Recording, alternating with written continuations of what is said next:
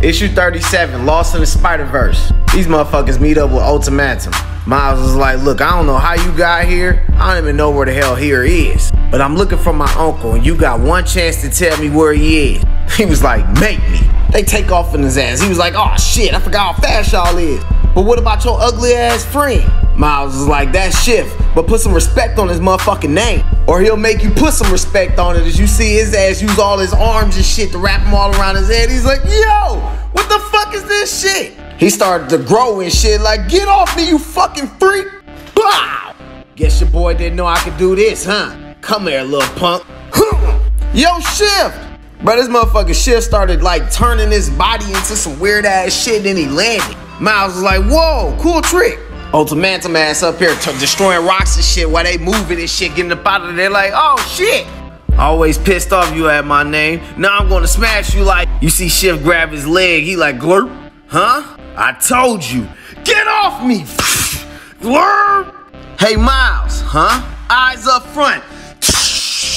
ah! He take his fucking shield from him. Then he go check on Shift like, man, you alright, man? Glurp. Then he go run back on his ass like, you ready for some more Venom Bass? Not today, motherfucker. So he grabbed his shield like, yank that bitch from him and shit, bruh. Ultimatum tried to fucking shoot his ass with the damn gauntlet from the Iron Man gauntlet. Blah! That shit bounced back like.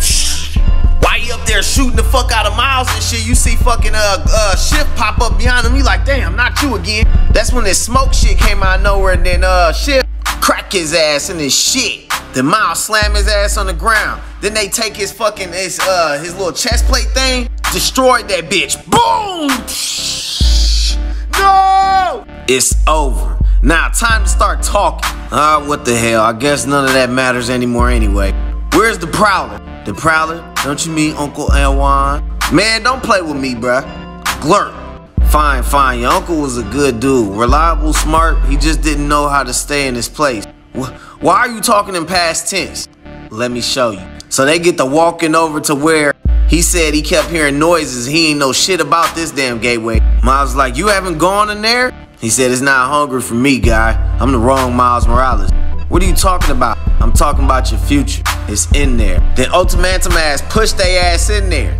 So they said, fuck it, they go into this like this little black shit and they see another gate, so they go through it. Then they started seeing everything that was uh that happened during the Clone Wars and when he fought Selim.